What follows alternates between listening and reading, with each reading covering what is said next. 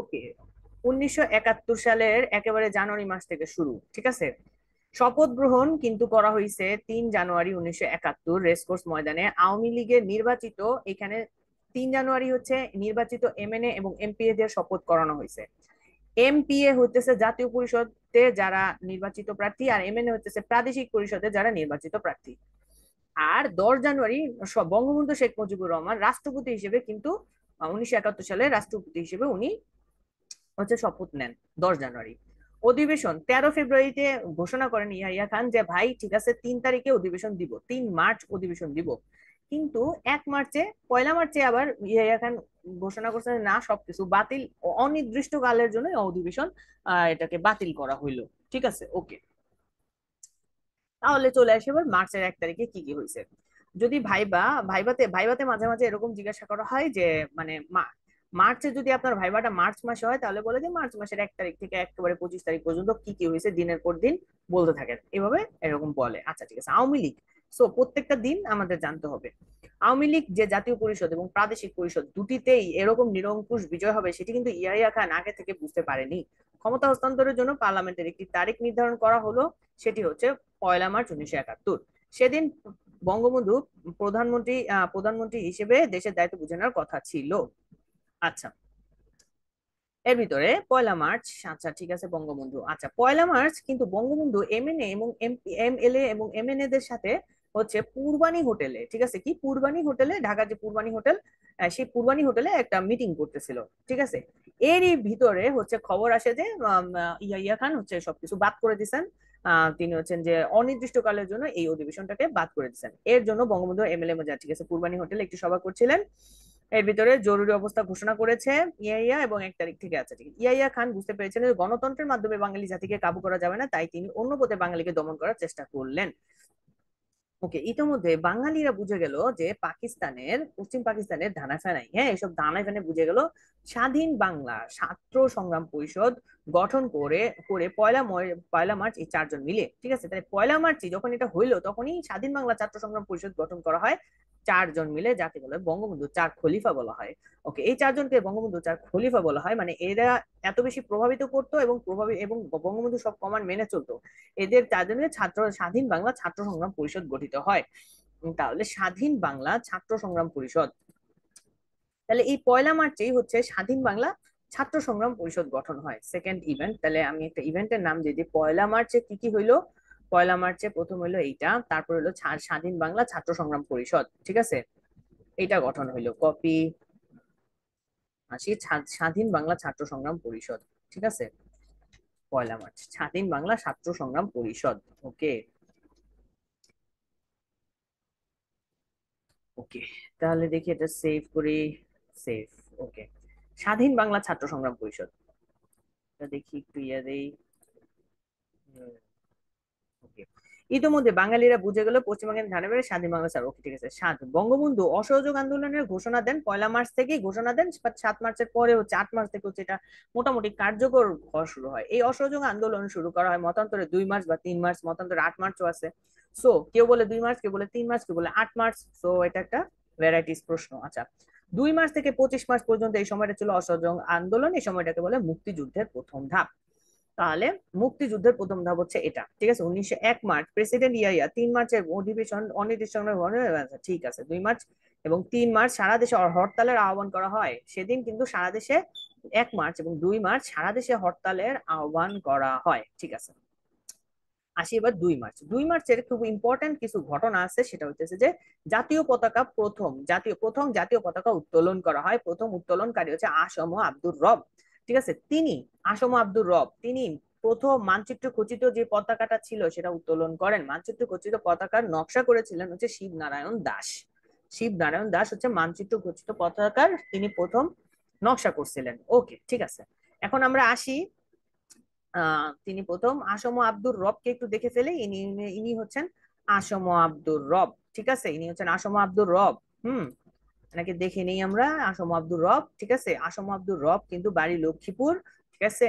তো আসম আব্দুর রব বাংলাদেশের বাংলাদেশের জাতীয় সমাজতান্ত্রিক দল জেএসডি এর নেতা তিনি বাংলাদেশের স্বাধীনতা সংগ্রামের অন্যতম সংগঠক, তৎকালীন ডাকসু ভিপি এবং আসম আব্দুর রব এর নেতৃত্বে উনিশশো একাত্তর সালে দুই মার্চ ঢাকা বিশ্ববিদ্যালয় কলা ভবনের ব্যালকনিতে দাঁড়িয়ে হাজার হাজার ছাত্র জনতার সামনে তাহলে এটা যে উঠাইছেন, তিনি কোথায় উঠাইছেন? ঢাকা বিশ্ববিদ্যালয়ের কলা ভবনের ব্যালকনিতে, ঠিক আছে? ছাত্র জনতার মাঝখানে প্রথম জাতীয় পতাকা উত্তোলন করেন বাংলাদেশের মানচিত্রে খচিত যে পতাকা উত্তোলন করেন তিনি আসম আব্দুর রব ঢাকা ঐতিহাসিক বটতলায় শেখ মুজিবুর রহমানের হাতে পতাকা তুলে দেন। বটতলায় কিন্তু তিনি পতাকাটা তুলে দেন, উনিশশো একাত্তরে তিন মার্চ পল্টন ময়দানে বঙ্গবন্ধুকে জাতির জনক উপাধি তিনি এই নিয়ে দেন মানে হচ্ছে আসম আব্দুর রবই দেন। তাহলে আসম আব্দুর রব তিন মার্চে যেই জাতীয়, জাতির জনক উপাধিটা দেন হচ্ছে আসম আব্দুর রব, হচ্ছে ইয়াতে, আর তার হাতে প্রথম মানচিত্র খচিত পতাকা উঠে এবং তিনি পরের দিন বটতলায় বঙ্গবন্ধুকে পতাকা হস্তান্তর করেন। দিস ইজ সেই ঐতিহাসিক ছবি ঢাকা বিশ্ববিদ্যালয়ের কলা ভবনের সামনে। ওকে মানচিত্র খচিত পতাকা। আচ্ছা এবার একটু উপরে আসি, সেটা হচ্ছে যে, এখন আমরা এই যে মানচিত্র খচিত পতাকা, বর্তমান পতাকার নকশা করছেন হচ্ছে কামরুল হাসান, ঠিক আছে? আর দুই মার্চকে পতাকা দিবস বলা হয়, ঠিক আছে? সো এটা মাথায় রাখতে হবে যে দুই মার্চ হচ্ছে পতাকা দিবস, ঠিক আছে? দুই মার্চ হচ্ছে পতাকা দিবস। দুই মার্চ পতাকা দিবস, ঠিক আছে? তাহলে কামরুল হাসান হচ্ছে বর্তমান, ইনি হচ্ছে কামরুল হাসান ইনি হচ্ছে শিবনারায়ণ দাস, ঠিক আছে? আচ্ছা এখন একটা মনে প্রশ্ন থাকে কে কেন বাংলাদেশের পতাকার মধ্যে আগের মাত্র প্রশ্ন? ওকে, উত্তর আসি। কেন বাংলাদেশের বাংলাদেশের পতাকার মধ্যে আগের মতো মানচিত্র ব্যবহার করা হয় না? আচ্ছা কেন বাংলাদেশের পতাকার ভিতরে আগের মতো মানচিত্র ব্যবহার করেন? এটা খুবই আমার নিজের মনে প্রশ্ন ছিল এটা। কারণ হইতেছে যে, বাংলাদেশ যখন স্বাধীনতা অর্জন করে, তখন বাংলাদেশকে কেউ চিনত না। তখন কিন্তু বাংলাদেশ স্বাধীন হয়নি এই জন্য এ দেশের ভূখণ্ড সম্পর্কে কোনো ধারণা ছিল না কারোরই। ঠিক আছে? সো যখন নতুন একটি দেশ স্বাধীন হয়, তখন জাতীয় পতাকার ভিতরে এর মানচিত্রটি দেখা, দেয়া দেয়া থাকতো, থাকলে জাতির, এর মানচিত্রটি দেয়া থাকলে দেয়া থাকলে হবে দেয়া থাকলে সহজেই সবাই দেয়া থাকলে সহজে সবাই চিনে নিতে চিনতে চিনতে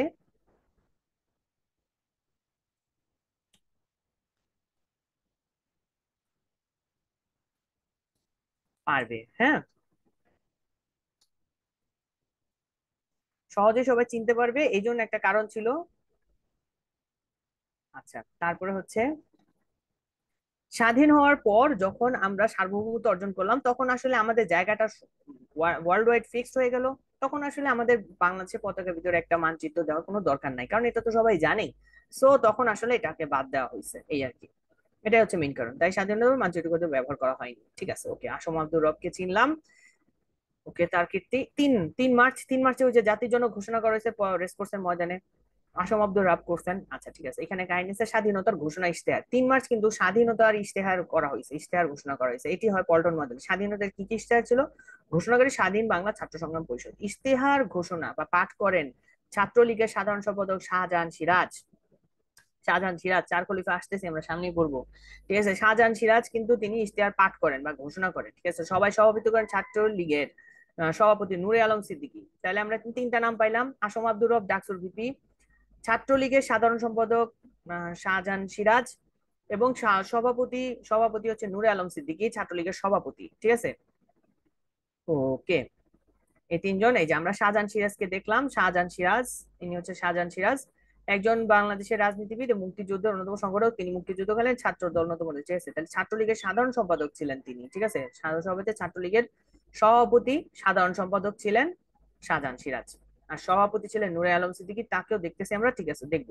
উনিশশো একাত্তর সালে ওকে, ঠিক আছে, বাংলাদেশের, বাংলাদেশ জাতীয় সংসদ নির্বাচনে তিনবার জাসদের আচ্ছা এটা হচ্ছে পরের ইয়ার পরে তিনি একবার বিএনপি সংসদ তিনি পরে বিএনপিতে কনভার্ট হন এবং জাসদে ছিলেন, তারপরে তিনি বিএনপিতে চলে যান।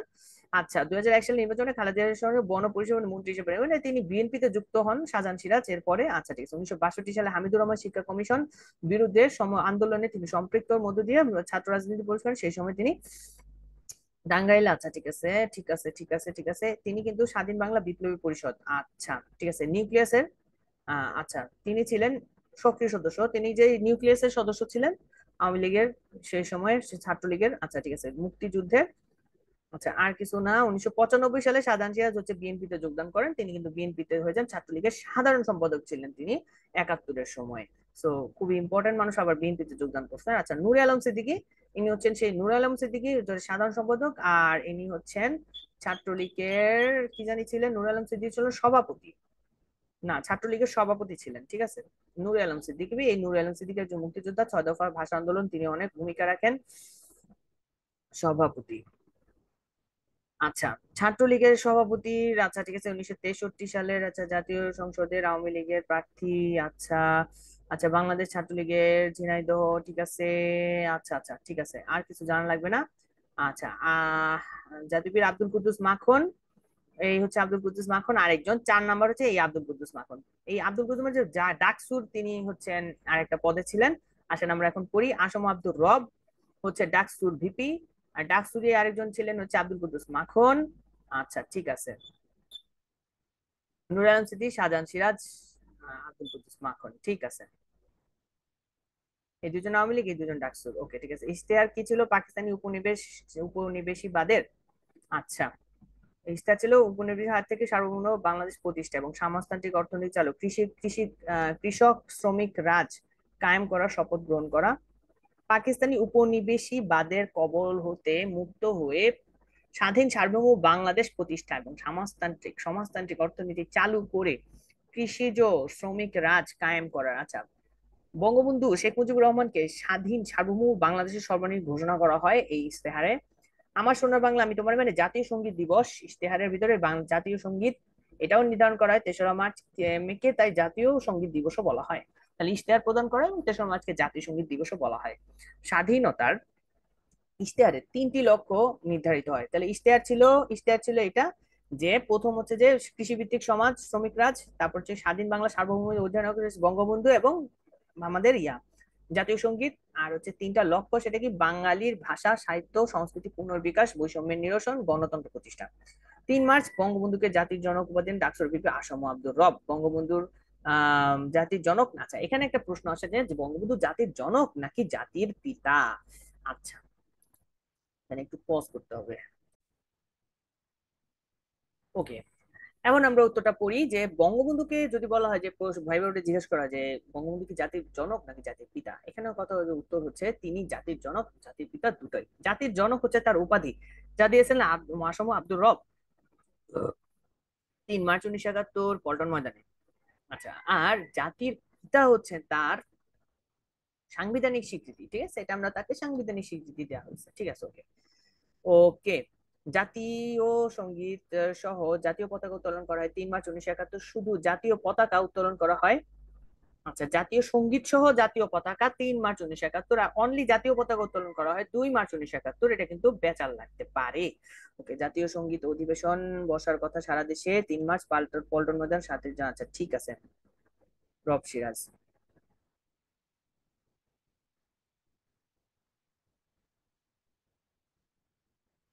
এখানে বঙ্গবন্ধু বঙ্গবন্ধু ঘোষণা করেন আপনাদের পরবর্তী দিনের সাত মাসের ভাষণে। তাহলে এই তিন মার্চে ঘোষণা করা হয় যে আপনাদের পরবর্তী দিনের সাত মার্চের ভাষণে। শেখ মুজিবুর রহমান এবং আসগর আসগর খানের বৈঠক। সাত মার্চের পূর্বে পাকিস্তানের লেবারেল রাজনীতির আজগর খান শেখ মুজিবুর রহমানের সাথে দেখা করতে চান এবং পরিস্থিতি কি হচ্ছে জানতে চান। জওয়াই মুজিব বলেন, খুব সহজ। প্রেসিডেন্ট ঢাকায় আসবেন ভুট্টো তাকে অনুসরণ করবেন ইয়া অচল অবস্থা সৃষ্টি করবেন সামরিক অভিযানের আদেশ দিয়ে ঢাকা ত্যাগ করবেন, অতপর পাকিস্তান শেষ। তিনি এটা ভালোভাবে বুঝতে পারতেছিলেন আজগর খানের গরিলা ইন পলিটিক্স, ঠিক আছে? গরিলাই তো, হম। উনিশশো আটান্ন থেকে উনিশশো আশি বই থেকে নেয়া, ঠিক আছে? তাহলে এই বইটা কিন্তু আসলে আসলে আসলে এটা জোগাড় করে রাখা উচিত স্বাধীনতার ইতিহাসের জন্য। গরিলা ইন পলিটিক্স, ঠিক আছে? আসগর খানের গরিলাইন পলিটিক্স, এটা একটু লিখা রাখি ভাই। একটু লিখা রাখি, এই বইটা কিনতে হবে। হুম। আসগর খানের গরিলাইন পলিটিক্স। আসগর খানের আসগর খানের guerrilla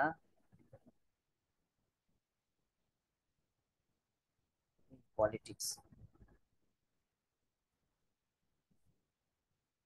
C U E R R I L A আচ্ছা ঠিক আছে। ওকে, তারপরে আসি আমরা আগে বাড়ি। আগে বাড়ি আগে বাড়ি আগে বাড়ি। ওকে, তাহলে এরপরে আসব। উনিশশো সত্তর সালে আছে একটা রিক্যাপ দেই।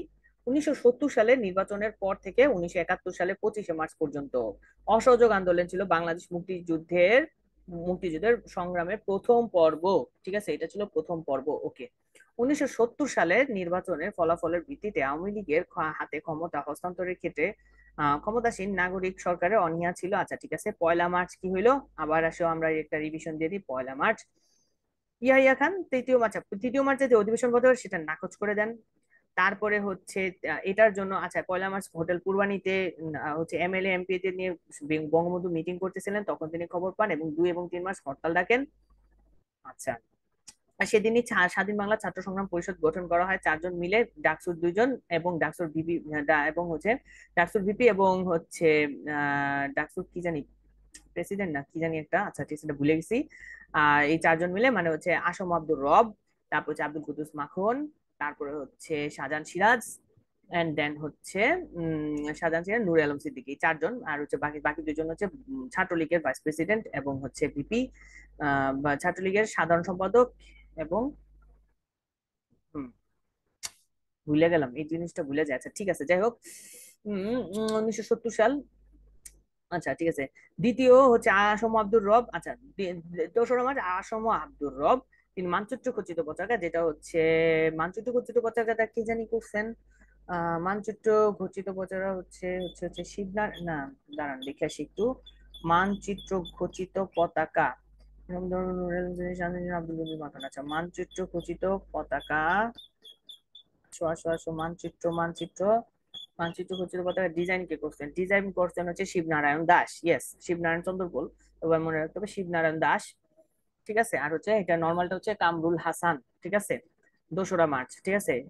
আসম আব্দুর রব, প্রথম পতাকা উঁচায় তুলছেন। কোথায়? কলাভবনে কলাভবনে। আর বিকালে হচ্ছে বটতলায় বটতলায় হচ্ছে বঙ্গবন্ধুকে দিচ্ছেন, ঠিক আছে? এবং বঙ্গবন্ধুকে তিন মার্চ জাতির জন্য ঘোষণা করে, তিন মার্চ হচ্ছে আবার ইশতেহার ইশতেহার করা হয়েছে। ইশতেহার কয়টা দিচ্ছে তিনটা দেওয়া হয়েছে। আহ ইশতেহারের লক্ষ্য ছিল তিনটা, আর ইশতেহার হয়েছে তিনটা। উম, তারপরে হচ্ছে, এই তো আচ্ছা দেখি দেখি, আসি, আবার আসি। এই যে, ঠিক আছে, তিন মার্চ হরতাল দেওয়া ঠিক আছে, দুই মার্চ তিন মার্চ এবং দুই মার্চ হচ্ছে পতাকা দিবস, তিন মার্চ হচ্ছে পতাকা, জাতীয় পতাকা এবং এবং জাতীয় সংগীত নির্ধারণ করা হয় এবং জাতীয় সংগীত সহ জাতীয় পতাকা গান গাওয়া হয়। আচ্ছা ঠিক আছে, তাহলে বঙ্গবন্ধু এটা হচ্ছে তিন মার্চ কোথায় হয়েছিল? তিন মার্চ হয়েছিল পল্টন ময়দানে, ঠিক আছে, পল্টন ময়দানে। আচ্ছা তারপরে হচ্ছে আচ্ছা এইখানে তিন মার্চ আরেকটা কাহিনী হয়, ইকবাল হলের নাম হয়ে যায় সার্জন জরুলক হল হ্যাঁ আল্লামা ইকবাল নাম, ইকবাল হলের নামকরণ করা হয় যে সার্জন জরুলক হল, ঠিক আছে?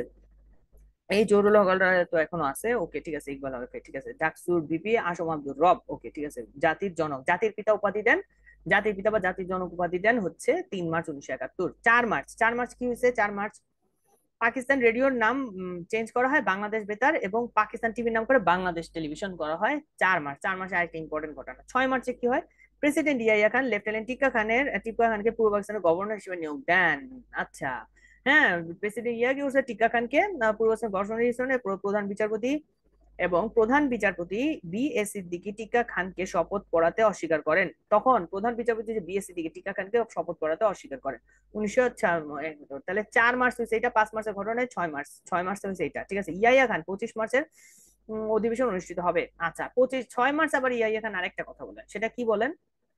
সেটা বলেন হচ্ছে যে আচ্ছা ভাই, ঠিক আছে, আপনাদের হচ্ছে আচ্ছা এটা এইখানে নিয়ে আসি, কাট করে, এইখানে নিয়ে আসি, এইখানে এইখানে এইখানে, ঠিক আছে আচ্ছা।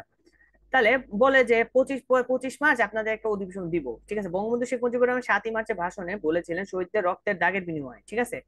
তাহলে ছয় মার্চ তিনি এটা ঘোষণা করছেন, কারণ সাত মার্চে সাত মার্চে যেহেতু বঙ্গবন্ধু একটা ইয়া দিচ্ছেন, সাত মার্চে ভাষণ দিবেন তো ওইখানে একটা ইয়া এখানে ভাবতেছিল যে যদি আবার স্বাধীনতা ঘোষণা করে ফেলে, তখন তো কিছু একটা, তো আগে তাদের একটা টোপ ফেলার জন্য ছয় তারিখে এরকম একটা বলল যে হ্যাঁ হ্যাঁ পঁচিশ তারিখে দিব, ঠিক আছে। সাত তারিখে তিনি বললেন সাত তারিখে বঙ্গবন্ধু এই জন্যই এই কথাটা বলছেন যে উনি অ্যাসেম্বলি ডাকছেন, কিন্তু এই এক তারিখের পর থেকে যত মানে অনেক জায়গায় পুলিশের গোলাগুলি হয়েছে, অনেকে মারা গেছেন, তো তারা শহীদ হয়েছেন। সো তাদের রক্তের দাগ তো এখনও শুকায় নাই। তো বঙ্গবন্ধু কীভাবে যাইতে পারেন? সেই অ্যাসেম্বলিতে বসতে। সো বলতেছিলেন তখন ছয় দফার ভিতরে কিন্তু বঙ্গবন্ধু চারটা দফা দিয়েছিলেন সেই তার চারটা দফা আমরা আসতেছি সামনে আস্তে আস্তে পড়ব। ওকে, ছয় মানে সাত মার্চের ভাষণে চারটা দফা ছিল। দেখি মনে আছে কিনা? একটা হচ্ছে যে যারা আছে সৈন্য, তাদেরকে ব্যারাকে ফিরে যেতে হবে। ঠিক আছে? তারপর হচ্ছে কি, হত্যার সুষ্ঠু তদন্ত শুরু করতে হবে। তারপরে হচ্ছে সামরিক শাসন হ্যাঁ আর্মিদের ব্যারাকে ফিরে যাওয়া।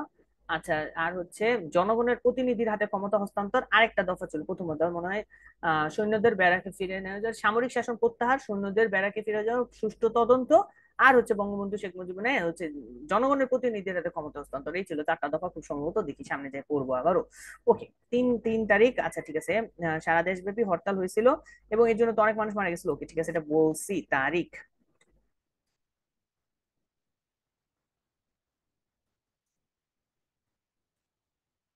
ওকে সাত মার্চ। আসি আমরা, ঐতিহাসিক সাত মার্চ। সাত মার্চটা আমরা সাত মার্চ সাত মার্চ আচ্ছা সাত মার্চ আমরা পড়ে ফেলি। ওকে সাত মার্চ।